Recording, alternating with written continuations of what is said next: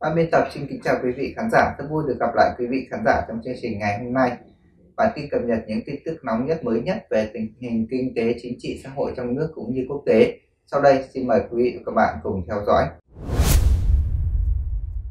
Trong những năm trở lại đây, các thảm họa thường xuyên xảy ra ở khắp Trung Quốc với đủ hình thức khác nhau. Nguyên nhân dẫn đến những biến đổi khí hậu thảm khốc như vậy là do vị trí địa lý. Hơn nữa, nhiều người còn cho rằng yếu tố con người cũng tác động không nhỏ đến việc hình thành thiên tai này càng trở nên tồi tệ hơn, như là chính quyền ông Tập Cận Bình muốn xoay chuyển quy luật tự nhiên bằng cách xây dựng hàng ngàn con đập thủy điện tầm cỡ lớn. Nhiều trận mưa lớn và kéo dài nhiều ngày gây nên những trận lũ lụt hết sức nghiêm trọng.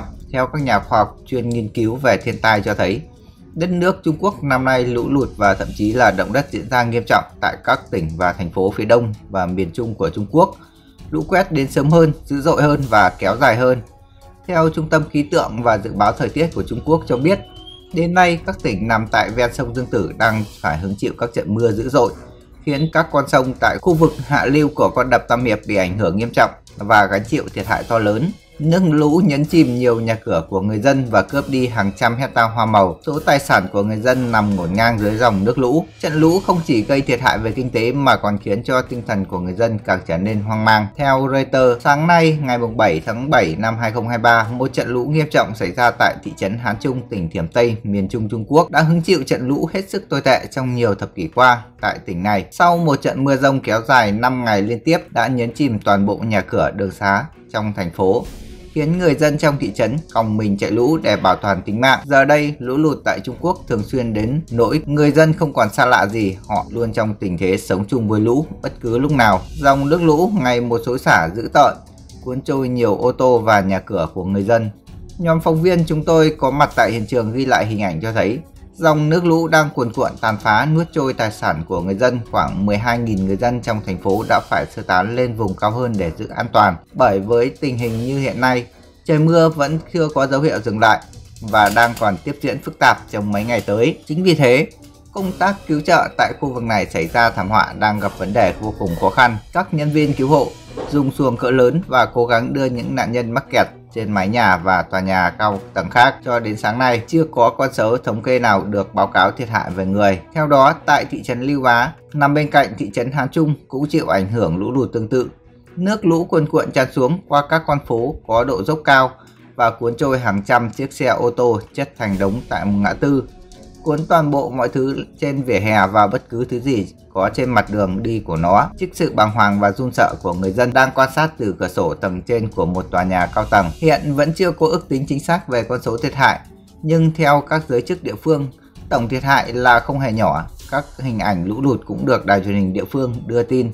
Thời điểm hiện tại, nỗi lo lắng lớn nhất của các cư dân sinh sống tại khu vực sông Dương Tử đều đang hướng về con đập Tam Hiệp. Có thể nhiều người không cảm nhận được mối nguy hiểm và sự bất an này, nhưng nếu chúng ta xây thêm một con đập khổng lồ với lượng nước hàng triệu mét khối mỗi giây, chắc chắn chúng ta sẽ có đồng cảm với sự hoang mang và lo sợ của người dân sinh sống tại khu vực hạ lưu con đập Tam Hiệp. Trong suốt từ tháng 6 tới nay, băng tan tại phía Tây bồi thêm các trận mưa lớn liên tục kéo dài, gây ra các trận lũ lụt tại Trung Quốc đã khiến hàng ngàn người thiệt mạng hoặc mất tích. Điều đó cũng đồng nghĩa với việc đẩy lượng nước đổ về sông Dương Tử ngày một tăng cao và trực tiếp uy hiếp đến cuộc sống của người dân trong mùa mưa lũ năm nay. Vào sáng ngày hôm nay, mùng 7 tháng 7 năm 2023, theo Trung tâm Khí tượng và Dự báo Thời tiết của Trung Quốc cho biết, các trận mưa lớn sẽ tiếp tục diễn ra tại An Huy, Hồ Nam, Hồ Bắc và Giang Tây.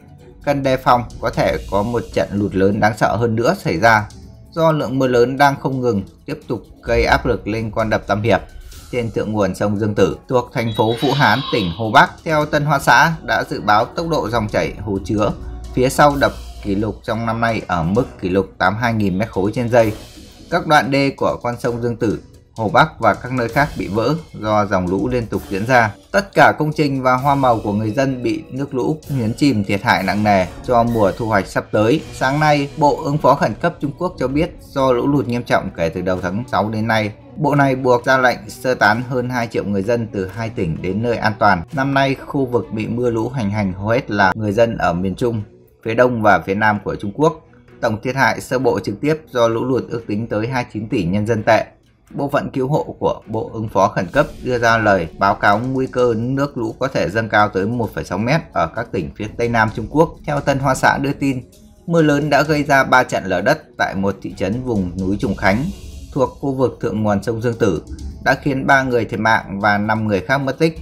Một thập kỷ trở lại đây, những trận lũ lụt đang diễn ra với tần suất dày đặc và xuất hiện ở hầu hết các khu vực tỉnh phía Nam của Trung Quốc đặc biệt là khu vực miền Trung và miền Nam. Vào năm nay, khu vực phía đông Trung Quốc cũng đã xảy ra các trận mưa khủng khiếp và cơn bão Iva cũng đã xuất hiện vào hồi tháng 6 và cơn bão Lipit vào hồi giữa tháng 6 đã nó đã phá nó đã tàn phá các tỉnh thành phố phía đông của Trung Quốc đều phải hứng chịu những thiệt hại nặng nề do cơn bão để lại. Nhưng mùa lũ năm nay còn đặc biệt nghiêm trọng và lo ngại hơn là tại thành phố Vũ Hán và các đô thị ở hạ lưu sông Dương Tử nơi có hàng chục triệu người đang sinh sống. Các trận mưa xảy ra liên tục đồng nghĩa với việc gây ra lượng nước quá tải lên đập Tam Hiệp. Chính phủ Trung Quốc cho hay việc xây dựng đập Tam Hiệp với mục đích nhằm tạo ra điện năng và nhất là giảm thiểu lượng lụt nghiêm trọng hàng năm tại Trung Quốc.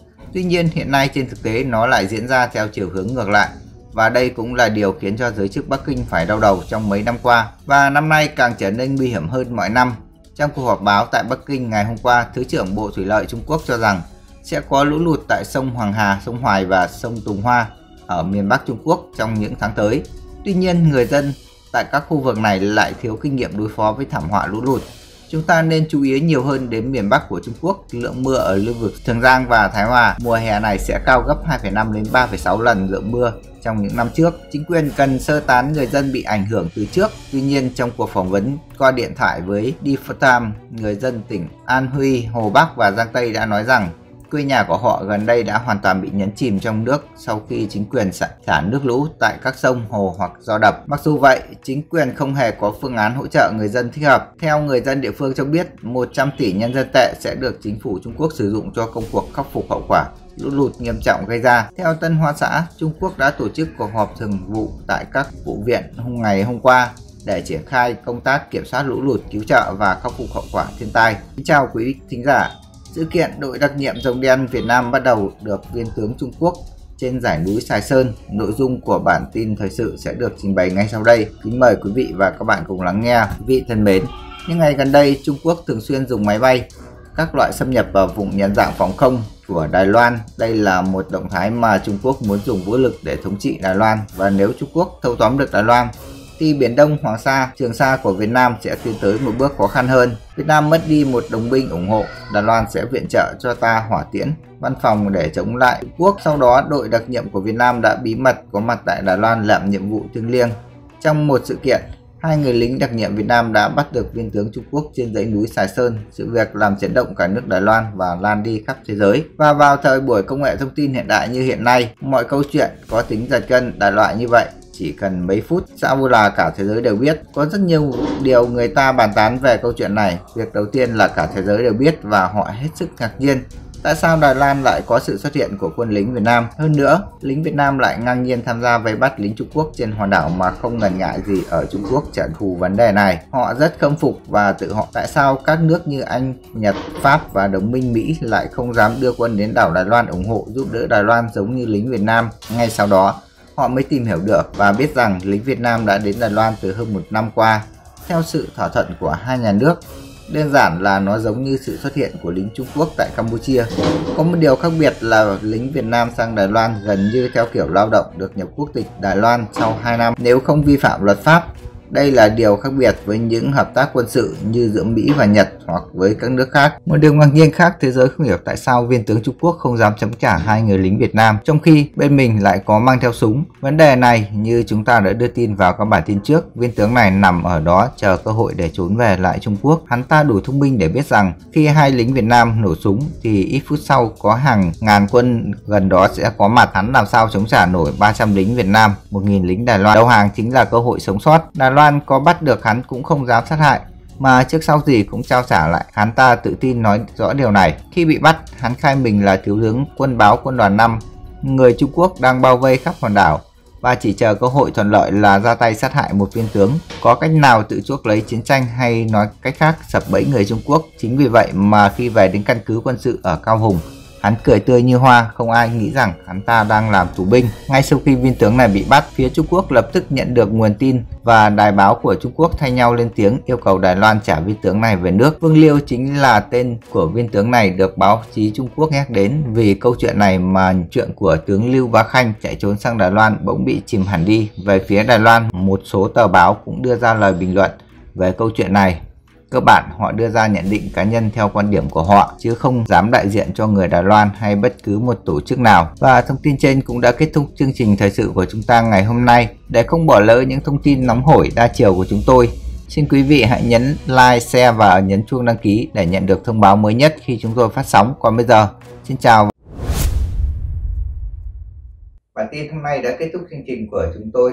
Xin chào và hẹn gặp lại quý vị trong những chương trình lần sau.